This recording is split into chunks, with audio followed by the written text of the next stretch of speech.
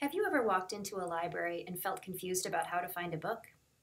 After watching this short video, you will know how books are organized, how to look up a book in the Pierce College Library catalog, and how to find a book on the shelves.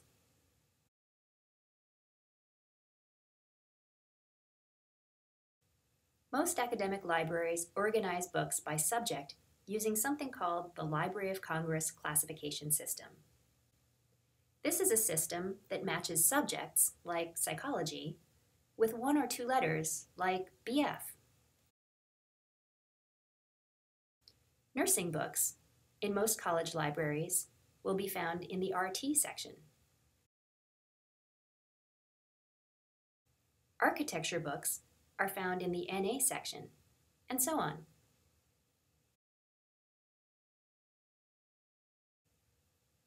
In this row, you'll find all books that have subjects matching M through ND, which is music through painting, and this row includes NA, which is architecture.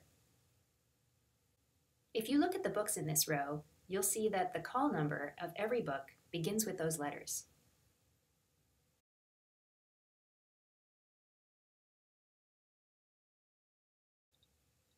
But browsing the shelves by Library of Congress classification to find books is not very efficient, especially in big libraries.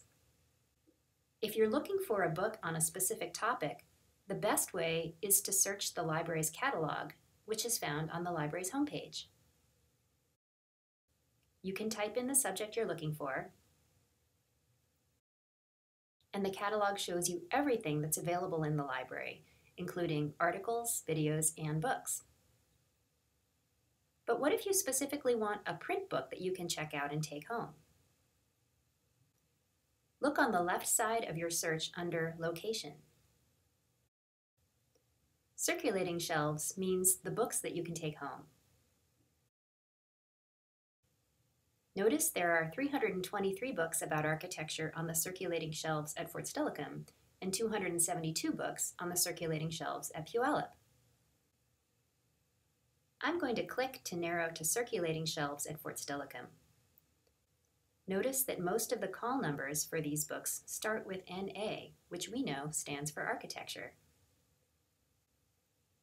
Now I've written down the call number, so I'm ready to go find the book on the circulating shelves.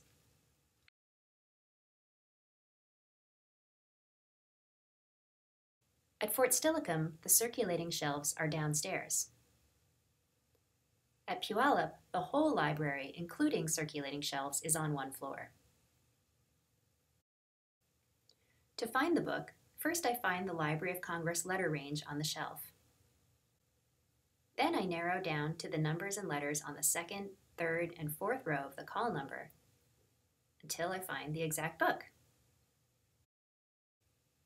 This can take some practice, but if you need help, librarians are always happy to help you find books.